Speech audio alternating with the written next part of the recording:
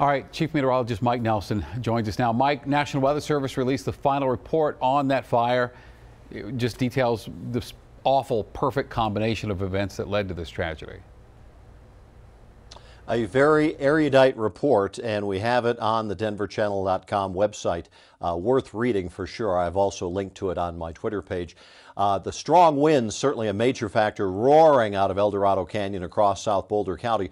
But the other part of the equation is very warm weather and very dry conditions. One of the warmest, driest autumns in over a century along the Front Range.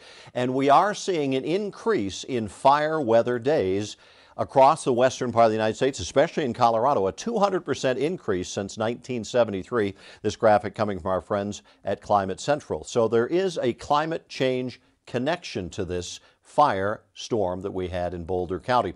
We're seeing it along with the shrinking Arctic ice, the record setting wildfires, not just from this fire, but from the East Troublesome and the Cameron Peak fire from a year ago, as well as the increased tropical activity worldwide, heat waves and droughts, all connected to a changing climate caused from the warming from the increase in carbon dioxide in our atmosphere, about 2 degrees Fahrenheit in the last 140 years. That coming from the burning of fossil fuels. Each molecule of carbon dioxide, you can think of it like a feather in a down comforter. And as we add more of those feathers, if you will, into the atmosphere, it redirects or traps heat from escaping into outer space, warming the planet. Hence, we see the results that I showed you earlier in terms of the changes we're seeing in weather conditions and large storms across the world.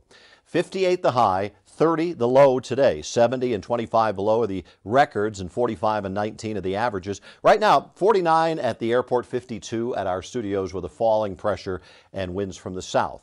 High clouds mild this evening will be about 35 by 11 p.m. Here's the map across the country. Storm track is to the north and northeast of us right now, but this cold front in the Pacific Northwest will slip across Colorado tomorrow night and early Friday and will bring some snow to our state. Now, in advance of it, just some high clouds around. Temperatures by morning will be mostly in the teens and 20s, mountains and west, and in the 20s and 30s along the front range.